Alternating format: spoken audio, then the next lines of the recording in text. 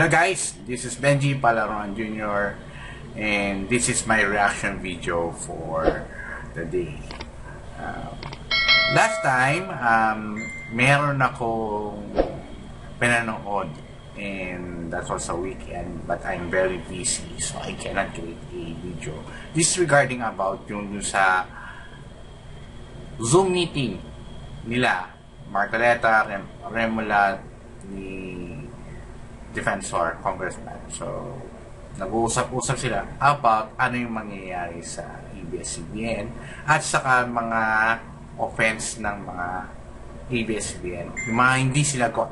Like yung tax, yung frequency nila, yung sa lupa, which is yung sa head office nila sa Madrid Ignacia, and yung labor labor disputes, discuss nila yung labor disputes. Yan. At saka yung Meralco. Yan. Natutuwa ako dito sa video nito since they are in the history of the Philippines talaga. Uh, first time to nangyari na ang isang Congress ay gumawa ng isang matinding aksyon sa isang malaking kumpanya which is a well-known company na family-owned at tinatawag ng oligarchs. Yan. Uh, nung bata pa ako, hindi ko alam yung meaning ng oligarchs. And yan, na, naintindihan ko na ngayon ang oligarchs na tinatawag. Kasi only one. Diba? Dapat sila lang ang may-ari ng lahat-lahat ng nangyarihan din sa ating bansa. Di ba? Hindi na yung gobyerno yung in charge. Dapat sila, para sila ang yumaman. Di ba? Yan lang ang mahirap, guys. Ang reaction ko dito, natuwa ko. Natuwa ako sa ginagawa nila ngayon. Dahil kasi, unang-una, they're, sabi nga, matatalino. Kasi may nag, ano sa akin, nag-comment sa last video ko, nung June 28 video ko, uh, medyo, parang na-offend sila. Eh, sabi ko naman, bakit kayo ma-offend? Di ba? Kung na-offend side ka sa positive ng ABS-CBN. And, respect na lang dahil kasi this is my reaction video. And totoo lang guys, um, maraming pagkakamali sa ABS-CBN. Aminin na natin. Why? Eh, hindi sila sumusunod sa batas eh.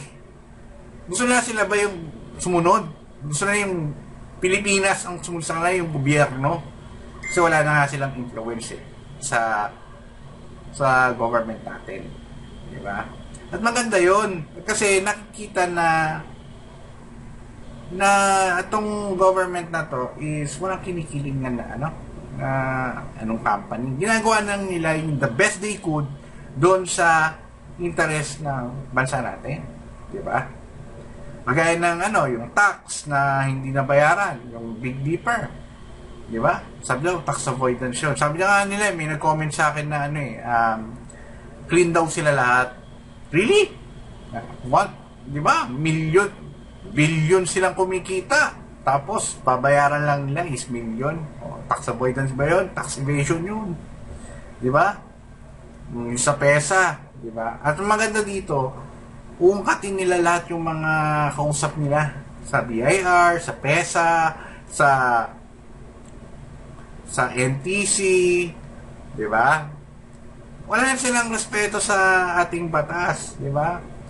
Eh kung ikaw, isang negosyo, ikaw nagtatrabaho sa ganong kumpanya, talagang ba, talagang magsasara talaga ang kumpanya kung hindi siya sumusunod sa batas. Di ba? Oh, bago hindi mga idol yung artista, but masakit mag mawalan ng trabaho for pandemic. And Kaso, ito lang yun eh. Sumusunod ba sila sa batas? May rule of law tayo, guys. May rule of law. Di ba? Kasi, nakakaawa naman dahil mawawalan ng trabaho. Kasi, pandemic ngayon. I'm very sorry, but ang tanong dyan, si ABS-CBN may awa ba doon sa ginawa nila doon sa mga other yung kasama sa labor cases? Diba? Ilang taon silang hindi regular? More than 10 years, 15 years, 20 years. Grabe. Kasi hindi sila pwede maghanap buhay kung na-hold sila dun sa case na yun. O, Di ba? Masakit yun, di ba? Hindi siya mag maging regular sa isang work yun. O masakit pa to, di ba? Yung utang sa DBP, nabayaran nila. Di ba? Na-write off yun eh. Sana maungkat yun sa akin.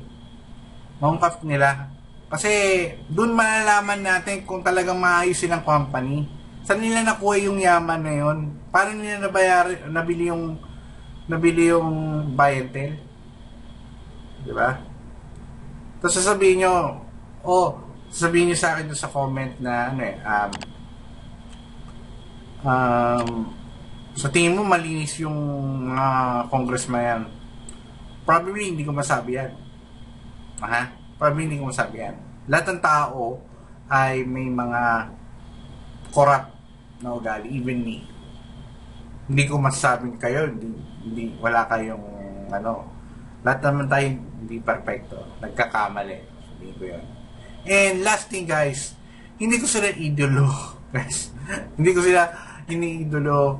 Natutuwa ako sa kanila dahil ginagawa nila yung trabaho, yung mandato nila sa sa batas sa congressman. Kaya yung dati kasi yung mga congressman tinatawag congressman, di ba? Dahil sa mga tong tongs, di ba? Ito, ginagawa nila yung trabaho nila. Di ba? Gusto sabihin yung press freedom yan, sure, bakit nakakapag-watch pa sa- nakaka-air sila sa YouTube? You're free to comment me below about what you feel and thank you for the comment and if you dislike the videos na, na is okay with me guys. But sa akin dito, yung ginagawa kong video at reaction, this is my freedom speech. And and totoo lang guys, kung yan ang belief nyo na wala siyang violation, it's okay. Wala siyang violation sa inyo. Ako, may alam ako sa mga land registration, sa, sa mga deeds and titles. And ABS-CBN ay hindi pinapakita yung yung titulo nila doon sa Manila Ignacia and sa USMAG yun. Diba? Sa dapat sa gobyerno yung lupang yun. At may karapatan ng gobyerno natin kunin yung lupang yun. Dahil talaga, in the first and start of the ano, lupa ng gobyerno yun. At mas sequester pati yung building. Kasi accessory ng build, ng lupa yun. Aniti na yun yun, di ba? So, guys, ito yung maganda dito.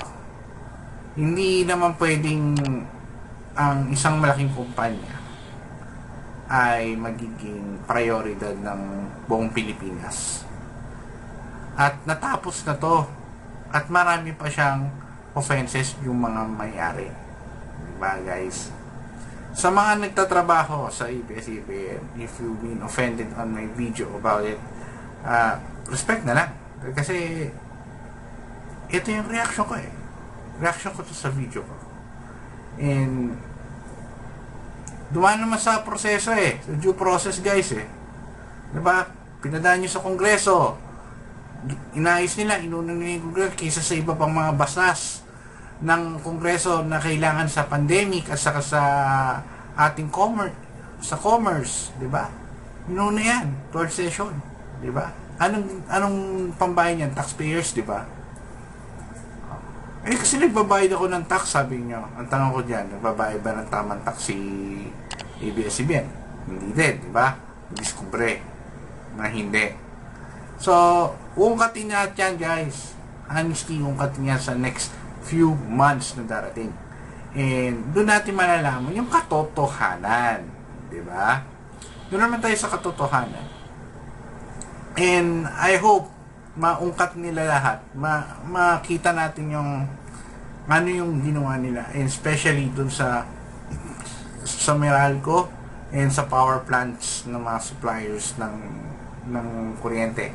Honestly nga sa akin, sa ibang bansa, gobyerno may-ari ng mga power plants eh, by private. Di ba? Di ba dapat meron tayong Bataan Nuclear Plant? Hindi nagamit yun guys. Honestly, hindi nagamit yun. Dapat mura ang ating kuryente. Tapos kumikita sila dahil sa kuryente. Di ba? Di ba nawala yon Nawala yung opportunity na umunlad tayo. Dahil kasi ang umuunlad lang yung mga pamilya, families, well-known family. I'm very sorry. Kung sabihin niyo sa akin na na, na ganon. And it's time for the Filipinos makuha nila yung sarili nila, yung angkin na karapatan na ma-enjoy nila yung mga basic resources ng bansa. Kuryente, tubig, di ba? Natural resources yan eh. Hindi yan negosyo, naging negosyo na eh. Naging yumaman pa nga eh. Mas powerful na nga sila sa gobyerno. Yun yung sa akin. Kaya, dun sa Zoom nila, I really like it. Dahil kasi, sinasabi niya eh. And, last, yung frequency. Yan. Pinag, pinag-usapan nila na gamitin sana sa distant learning. Pwede. Gusto ko yan. Kasi kailangan. And, gusto, Actually, ayaw nga sa distant learning kasi nga maraming try. Gusto kong ilagay na lang nila gamitin ng channel 4 or PDV4 kasi yung iba namang gamit dyan ay pang PDV4 sabi daw nila uh, gamitin na yung frequency PDV4 or sa internet natin yan importante internet eh uh, mabagal yung internet natin NBC at in sana ma- doon mapunta yung frequency yung digital niya. Tapos yung ano, uh, yung iba diyan maging ano, income income stream ng gobyerno. Yun lang.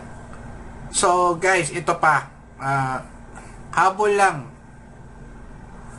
May rule of law tayo. May rule of law tayo. May batas tayo kung puro na lang tayo awa, awa, awa, huwag na tayo gumawa ng batas. Huwag na natin sundin yung batas. Di ba? Kaya, oh, masakit mawala ng trabaho guys. There's something more opportunity ahead sa inyo. Lalo yung mga nawala ng trabaho sa ABS-CBN. And stop na natin yung labanan pa yung gobyerno. They're doing their best to do their job. Diba? Kaya, sa akin, ito yung reaction ko, guys. Okay? So, guys, please follow me on my YouTube. Please subscribe to my channel para may update kayo sa aking mga video, guys. And see you to another Thank you so much for watching. See you again on my next video.